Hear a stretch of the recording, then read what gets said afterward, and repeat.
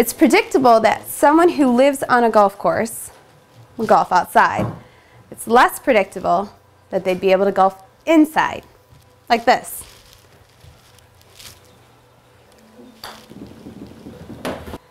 This is a golf simulator, and it's only one of many features down in this basement that surprise those who've never seen it before.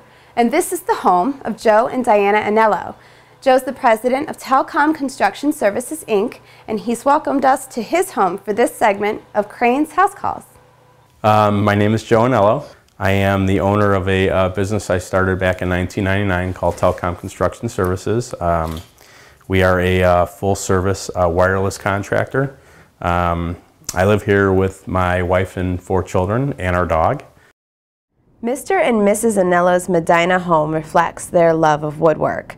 The most enormous example is their entertainment center, built to fit an 80-inch television and accented with recessed lighting. The home's patio is nice to look at too, as we soon found out. In fact, the family recently built the fireplace there, around which they grill s'mores, and watch tribe games on an outside flat screen TV. You know, when we were building the house, we wanted to actually duplicate the front of the house because uh, being on the golf course, there's a lot of traffic that comes by and sees it. So we wanted to make sure the back of the house was was just as, you know, intricate as far as the, the stonework and everything that we did on the front of the house.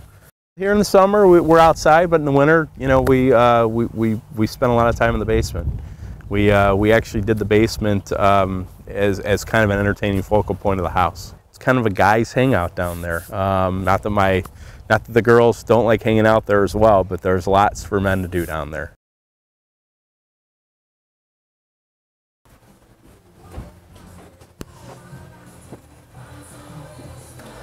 What am I looking at?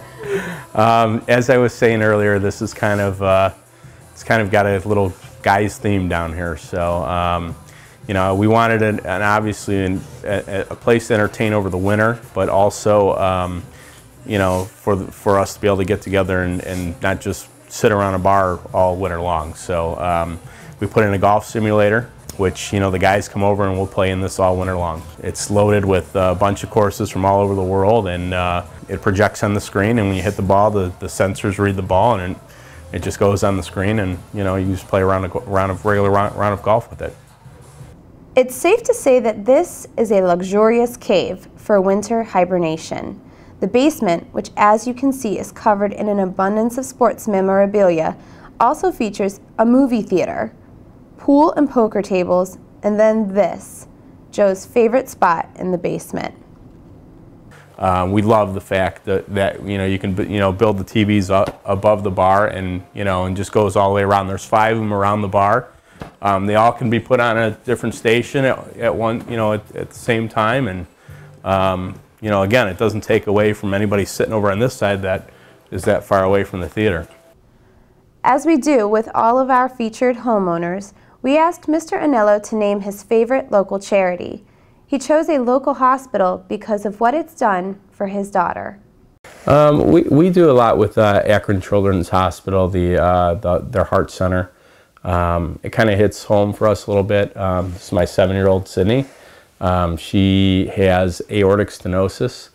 When she was uh, born, she had um, she's had a couple procedures since then. You know, she goes in a couple times a year and gets checked out, but uh, so far so good. So uh, but because of that, we, we actually we donate um, to them.